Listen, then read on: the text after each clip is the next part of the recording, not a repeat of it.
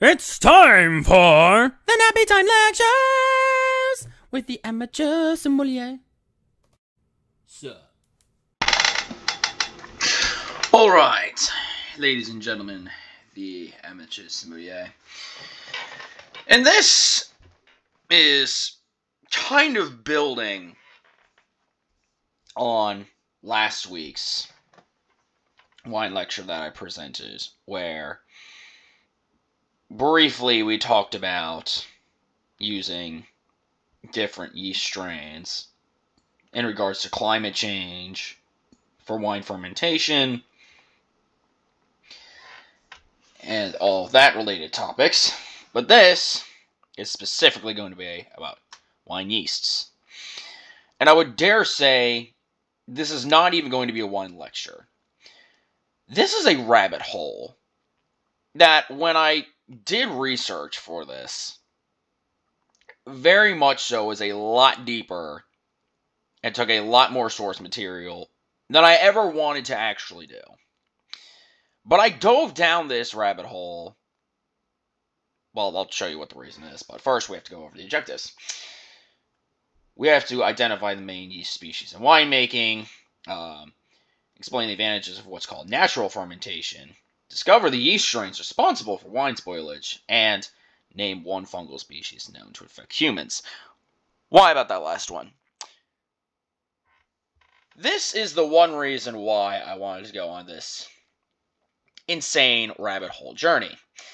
It is probably one of the most disgustingly perverse questions a scientist or anyone in general would ever ask in the history of literally ever. This is the time where I'm going to warn you, you might want to have a paper barf bag nearby. Because the question is can I take a terminally ill patient, a fungal infection? Now, this is budding yeast over here. There could also be hyphal yeast, there could be mildew, mold, lots of other things we'll get into. But can I take this fungal species, isolate it from a terminally ill patient, culture and subculture the fungus, add in grape must. I understand this looks a lot like grape juice, but entertain me. And make wine. Now, most people's reaction, understandably so, I will not blame you for this, should be that is absolutely disgusting and what on earth is wrong with you? Besides the fact that I have a very sick mind, there is a thought process to this. There is a rabbit hole to this insanity. So, what really has to breed itself out of whatever happens in my brain, which, you know, besides getting therapy, which is a whole different can of worms and a totally different topic of discussion, what yeast is used for winemaking? It's actually Saccharomyces cerevisiae, which most of you will know is bread yeast. But there are actually different strains of Saccharomyces cerevisiae. There's actually a lot of them. A lot more than I ever wanted to know. Strangely and sadly enough. So, the power of our Saccharomyces cerevisiae. It is a unicellular fungus. It produces ethanol and other two carbon compounds via pyruvate, which is a three carbon molecule, even under aerobic conditions. This is called the Crabtree effect. The reason it does this is to eliminate competition from other microorganisms to survive by itself. It doesn't like that yeast strain over there. Well, I'm just going to make the entire environment more, basically, alcoholic. There's more ethanol concentration in the area. You can't survive in this higher ethanol concentration, but I can. So I'm just going to produce a bunch of ethanol, and then you're going to go bop boop beep. Now, of course, this is strain dependent as there are lots of strains, but it's not entirely the whole story here. There are other yeast strains that can also produce ethanol in such concentrations. as you see uh, among them Chloeveromyces canina pichia. And there's this phenomenon. It's called wild yeast fermentation, which is letting natural occurring yeast in the environment, in the winery, in the vineyard, ferment the grapes, the grape must rather, rather than these commercialized uh, Saccharomyces cerevisiae strains. You know, you have the bags of bread yeast. They're like, hey, you can use this and make bread. Woo! It it's more wild in nature as opposed to the commercialized little baggies we all love to use. Now, critics, particularly, I think, when I was researching this, the critics were from France, and we all know the French are up and about on their wines, and, you know, yes, I will call you out on that. My French viewing audience, however many you may be to say that wild yeast fermentation creates lower quality wines with lower alcohol strength. And there is some truth to this, actually. Natural vineyard yeast strains, once you get around 10% ethanol concentration, most of those other wild yeast strains basically die off. The concentration of the ethanol, the alcohol, is too much for them to survive. But there are strains, of course, of our dear friend Saccharomyces cerevisiae still kicking, and they're like, ooh, it's time to make a Cabernet Sauvignon, as opposed to our natural vineyard yeast strains that at 10%, you're probably looking at, I think, Rieslings is probably the strongest you can get. You might be able to get away with a weak rosé. You're not getting some of those Bordeaux style reds, Pinot Noir. You could probably get away with a lot of sweet wines, though. You really could. Sweet wines, they're usually somewhere between 5 and 8%. Yeah, that's kind of a ballpark as far as alcohol concentration goes. So, why would you then do natural yeast fermentation if you have a limit of scope and practicability? It's the last one that actually is getting more of the attention in the wine industry. It's exciting and incredibly unpredictable. And at the top, you can produce a lot of unique wines. Because apparently, as it turns out, the wild yeast strains, even in different blocks of the same vineyard property are different. So you're having a lot of variety as far as yeast strains go in nature on the same property, no less. Just literally letting nature take its course. You do a lot of different things with flavor, acidity, tannin. I can literally keep going. That will lead to greater mouthfeel on the palate, more full bodied wines, but you have to be very careful with fermentation. It's going to take longer. You have to very much so keep an eye, making sure the yeast strains are still alive there. You're not just going right to the Saccharomyces. Mainly because the different yeasts, they ferment differently, obviously, because there's so many strains of them and their enzymatic pathways and can release different aromatic compounds during fermentation that would normally be detected. Now, I did not go through all these possible yeasts with all these enzymes, mainly because this is going to be deep enough a rabbit hole as it is.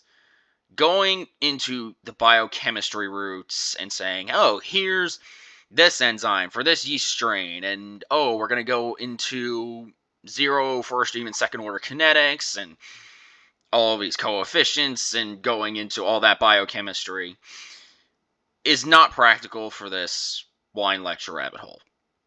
That is frankly insane, even for me. So we're not unfortunately going to do that for all of my biochemistry enthusiasts. I will apologize, but I, I think you'll thank me later. we have to next go to the yeasts that cause wine spoilage. Because they do exist. And so we'll start with, to me, it looks like a dermatophyte. It is a hyphal yeast. As you can see on the left, this electron microscope photo. It's called Decara bruxellensis. Now, the problem with Decara here is what's called smoky or wet horse aromas. My sister knows a lot more about the horse aromas, the wet horse aroma. So I don't know what it smells like. Smoky, I, that's kind of close to my ballpark. But these aromas are caused by carbonyl and volatile phenol groups, which is awful for wine. But apparently, in low amounts, granted, it's very practical in lambic beer. No idea what that is. Sourdough bread. Not a fan. Kombucha tea, which I do need to try at some point. And ale, which I don't know if it's the Belgian ale, ale in general. Wasn't really able to expand on that. But the activity of the enzyme for Decara, which is beta glucosidase, releases these desirable phenolic compounds, which are volatile and most likely carbonyl. In low amounts, great in the above. In wine, we don't want it. We're good. We're quite fine. Save me for just one second.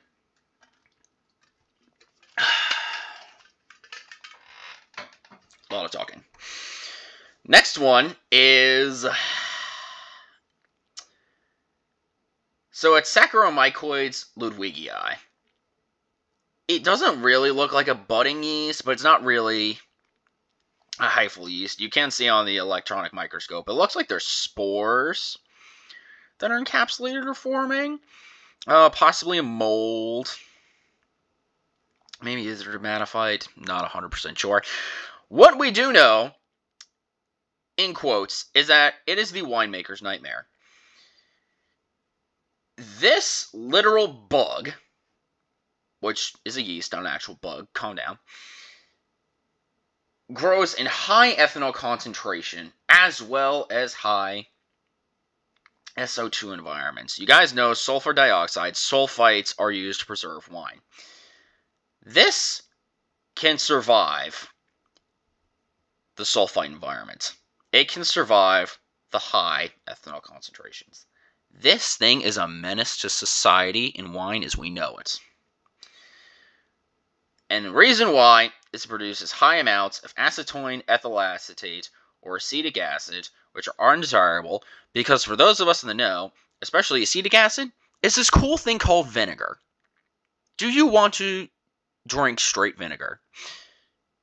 Well, I mean, I kind of quote drink it with my salads, but I'm going to be honest with you, drinking it full straight, not really. Although some people say that drinking apple cider vinegar, I don't even think they do it straight. I think they do a dilution. Can help with weight loss. Yeah, it doesn't really help with somebody who has acid reflux. I just no. Although there are some people that are older in my family that will actually drink straight vinegar. Mom, I'm bloody calling you out. I can't believe you did that. Anyway, so how do we get rid of this absolute monstrosity from the wine? Three methods. The chemical, which, you know, it's just a bad rap, but it does exist. Dimethyl dicarbonate, or ketosan, to take care of our Ludwigii. There's the biologic method, which is, quote, called the killer yeasts, which you should know from the previous slide. We have some of the other ethanol producing yeasts, so Pichia, Cleveromyces. There's also, how do I pronounce this? Mechnicoia is what I'm going to go with. Let me know in the comments if I just absolutely butchered that and how to do it correctly, because I really don't know. And then the physical methods You use pulsed electric fields. There's some kind of a current that goes through and kills them off. It just messes with their um I guess these walls here. I don't even show their capsids. I then get to the spores and just go ah or gamma radiation. Because yes, I like to worry about gamma radiation in my wine because you know, especially in their current environment right now, I just need to worry about more radiation. yeah, terrible timing for this one. now, to be fair to Ludwigii, there is recent research that some strains will release more aromatic compounds, which actually improves the aroma in white wines. Whites, not reds. You'll just lighten the color up in the reds. Not good. Whites. Keep it there. It also, interestingly, can help reduce alcohol content in wine when mixing cultures with Saccharomyces cerevisiae. Let's go back to our climate change wine lecture. You have over, overripened grapes. You add our cerevisiae friend. There's way too much sugar from the grapes because they're overripe. That makes too much alcohol. Apparently, Ludwigii comes in, reduces the alcohol content. It's mixed. How?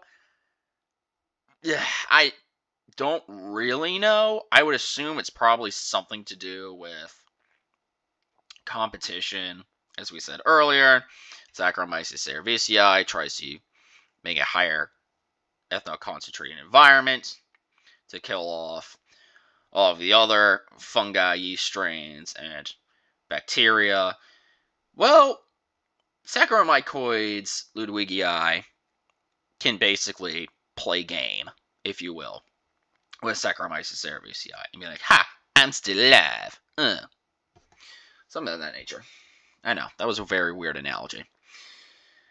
So, going into further wine fermentation, it can help release more polysaccharides, which leads to a more full body feeling, sweetness, protein stability, and maintaining antioxidant capacity, which those of us who want a glass of wine a day for the resveratrol, blood circulation, heart health, are like, ooh, we want antioxidants. We'd also like something full bodied, but also be sweet with protein stability.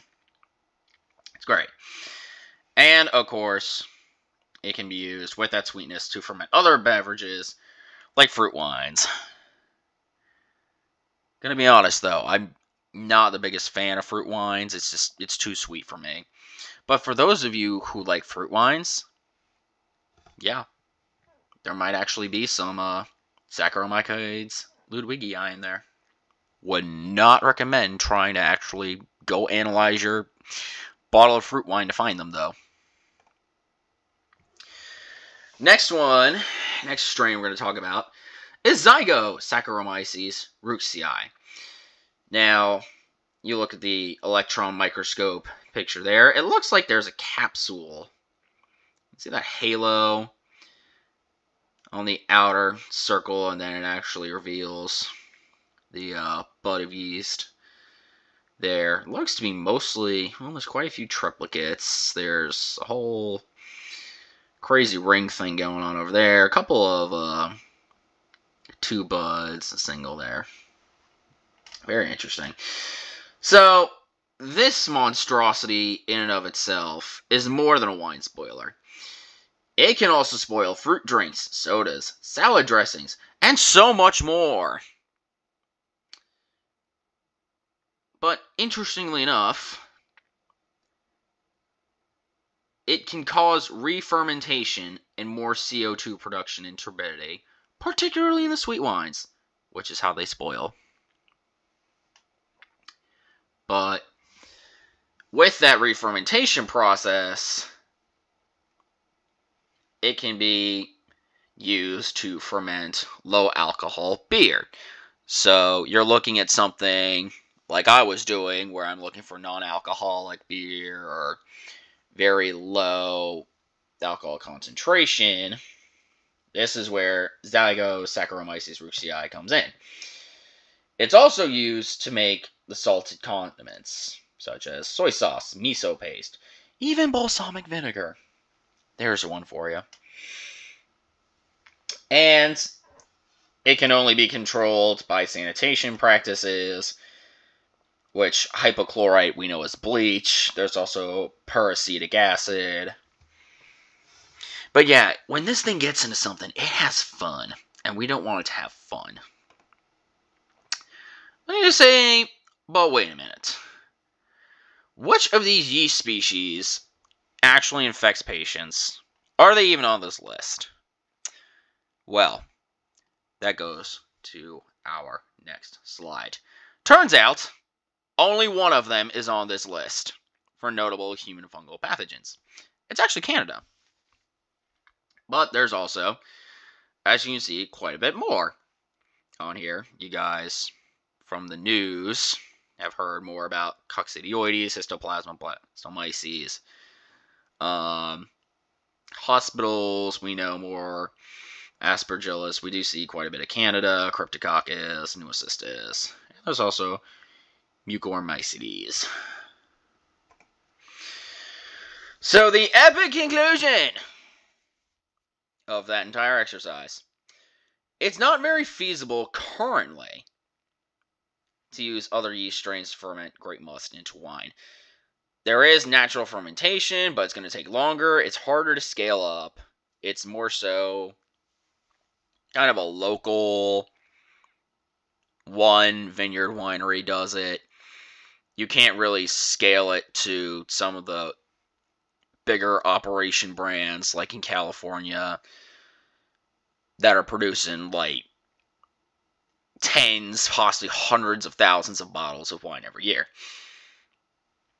So, for me, unfortunately, it appears unlikely that using a fungal pathogen from a patient could be used to make wine. Which all of you are like, thank freaking goodness. We don't have to deal with that. Or some person just going on some kind of crazy tangent to actually attempt this mad dog experiment. And that would be great. Except I'm just going to flip the reverse into some kind of multiverse nonsense and ask ourselves the question what if I could use a human fungal pathogen to make wine? What if it was possible? I'm going to take the rest of this presentation to go into how exactly my thought process, at least, would work. Now, before I begin that insanity, am I trained to do microbiology? By my certification, yes. Part of my certification process did involve taking microbiology courses, labs, rotation. Could I find my way around a microbiology lab? I could. Do you want me in a microbiology lab? No. Good freaking grief, no. Chemistry, fantastic. Hematology, excellent. Microbiology and immunohematology, which is what you guys would know as blood banking, don't put me anywhere near there. Microbiology, mainly because can I do the lab work? Yes. Do I understand kind of a lecture portion about how antimicrobials and how stuff grows and all this other stuff works? That's where by the wayside just dies apart. Immunohematology, blood banking is the opposite. Do I understand the concepts that are presented in a lecture to say, hey, this is how stuff works? Yes, I understand that portion. Putting that into practice in the lab is probably the greatest disaster on the entire planet. I get what's being presented and taught to me. Actually, putting it to practical use is an absolute behemoth that which, yeah, it just don't work. And yes, I will completely out myself that. I do understand that being a quote jack of all trades is only so far. I am very much a master of none. Although, you know, we, we can we can debate depending on level of knowledge. But anyway, let's let's start. Let's say I am some crazy psycho brilliant microbiologist in this multiverse new universe thing. Step 1. Let's isolate the fungal pathogen. Let's get a patient specimen. Urine will be the most easiest to get. Why? It's already a waste product. It's already naturally occurring. Just literally catheter or however you want to collect the urine. As long as it's a clean catch, please make it a clean catch for the love of God. Clean catch being your first amount of urine, about a mill, is discarded. Then you collect, and then the last mill should be discarded. That is the freest from contamination, um, such as skin bacteria. Um, if you have any um, powder in that area for dryness or antifungal, antibacterial, you want to make sure those crystals they will show up on the urine if not collected properly. So those will show up. Now, if it's not in the urine, let's say if it's a tissue or even in the stool, first of all, stool pathogen processing is an awful nightmare. You have to isolate out all the bacteria, any other fungal strains, possibly viruses. I mean, it, it's just disgusting. Just for that alone. Although the other portion is, it absolutely smells awful. If you've ever been around someone who unfortunately is infected with C. diff, just remember that awful smell and then realize why stool pathogen processing from there is just. Ugh. God, I'm gonna get sick already talking about it. so let's go with urine. Urine is what we started with.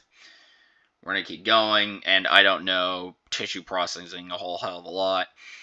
That is uh, histology, and yeah, not going to go there. So let's take our urine. Let's centrifuge an aliquot. As I like to tell all of the students I work with, or new trainees, aliquoter. Aliquot's a lot easier, I understand.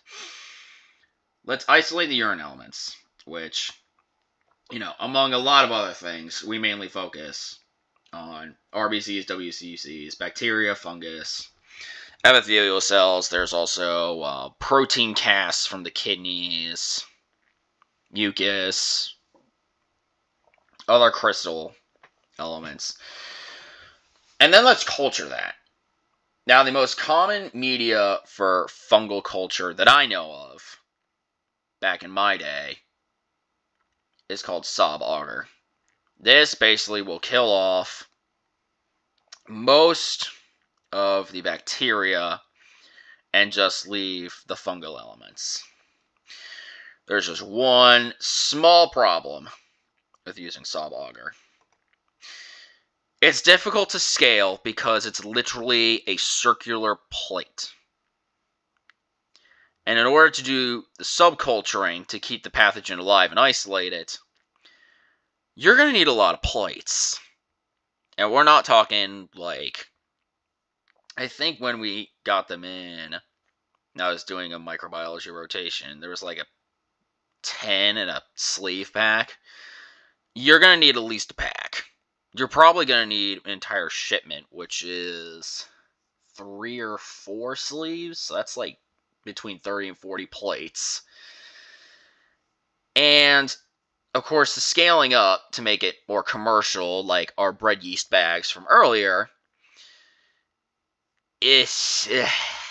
Yeah. Not really sure if that's totally practical, if it can be commercialized. And two other things you got to worry about. Uh, what happens if the incubator fails?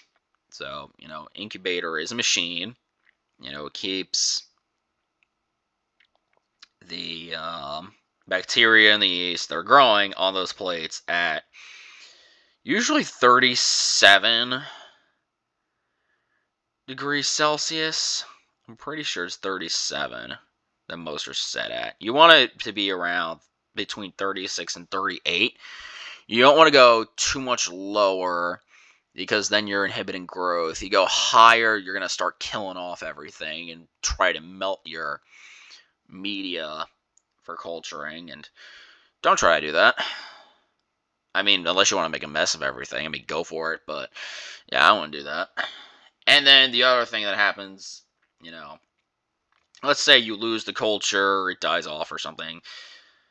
What happens when the patient inevitably passes? Because, you know, fungal infections are really hard to kill.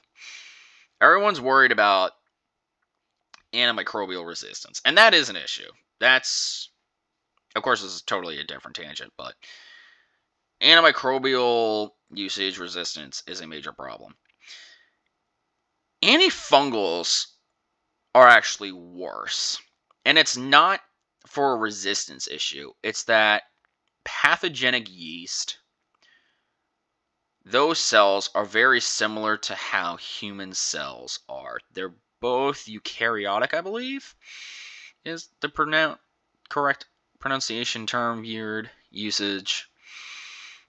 So basically, when you use an antifungal, you're not only killing the yeast, you're also killing the human cells, which makes treatment very difficult. And let's say that the fungus actually is resistant to that fungus. So, or it has fungal resistance. So you're not only not really killing off the fungus as well, but you're killing off the human cells as well. If you have to use a higher concentration or go to something else or use stuff in tandem, you're killing more and more human cells. The fungus is very slowly dying. It can still proliferate and spread to other organs, and you, you just you really got a mess on your hands. Fungal infections, it, it ain't fun. Sorry, that, that was a heck of a tangent there. Uh, next step now is fermentation process. Different yeast strains are used for different wines. So you now have to pair up okay, what can I do with this yeast strain that I have? What can I go with this pathogenic fungus? What wine is going to be most suited to make this the best wine I can make? Do I want to go fruit wine? Can I go with a semi sweet? Can I go full bore Bordeaux? Or even port? Yeah, so you gotta that's to take research. That obviously takes time. The next thing you're to want to do is have the grape must quickly available to start fermentation. Once you get the subcultures, the isolates that you want, you really don't want them incubating anymore. Excuse me, man. You have to. You want to actually start the process right away because then you have to keep your isolates alive. If that's delayed, you have to subculture to keep them alive. Subcultures really only last probably at most three days. And I would say the best to use them by is like two. So I mean you you're really you're going through plates like it's no one's business. It's it's kind of crazy. And then after that, you have to carefully monitor the fermentation process you know, you got to make sure the yeast won't just completely die off once the alcohol concentration reaches 5 to 10%. You got to make sure they stay alive. You got to make sure that other yeast species don't contaminate and interfere because then you don't know what's actually doing the fermentation process. If you somehow sneak in some Cerevisiae and that just jacks up the entire fermentation process, you want to keep the pathogenic fungus being the one to do all the work and that just is a whole bunch of research, a lot of other things. And on top of that, I mean, could you add Saccharomyces cerevisiae to your pathogenic yeast and make new unique wines characteristics, kind of like wild yeast? I mean, who knows? I mean, that's that's a whole other thing of research that needs to get pursued. I mean, the resources it's gonna require just it, it, it is frankly well beyond at least my personal capacity. It truly is. So now the actual conclusion. Because this has been going on wow. Oh, these wine lectures. These are these are long. Here's some long ones. I apologize, but uh, yeah, they're a lot longer than I expected. There's probably no shot of this happening anytime soon. There are a lot of other medical and ethical questions that need to be asked. Should we allow a terminally ill patient with a fungal infection to stay alive this long just so we can harvest you know, the actual pathogenic yeast to actually do this insane experiment. You know, we need to be treating the patient. Are they on hospice? You know, you got to get a bunch of forms, documentation uh, from the patient to actually go through with this, as well as research medical boards. I'm sure the government's somewhere involved. I think the FDA is also involved too somehow, as I think they do something with research. I can't remember. There, there's there's a lot of things you got to go through. So this this literally is a madman's thought process and dreams and just kind of exploring that. And if you did enjoy, if you made it this far, I mean, uh, I legitimately applaud you. I truly do. I I, I applaud you because this this you, will realize it really is a deep rabbit hole. There's a lot of things you got to worry about. Make sure to leave a like and subscribe. You know, thank you so much for watching. Can this be done in the future? Possibly. Uh, and the other question really is should it be done? I mean, again, serious medical and ethical questions that need to be asked and answered. Truthfully. And, of course, to end, look at all the source material. I had to pull this off. That's a lot. I think there's nine sources. So, yes. I hope to see you guys on the next wine lecture. Until then, have a great evening, everybody.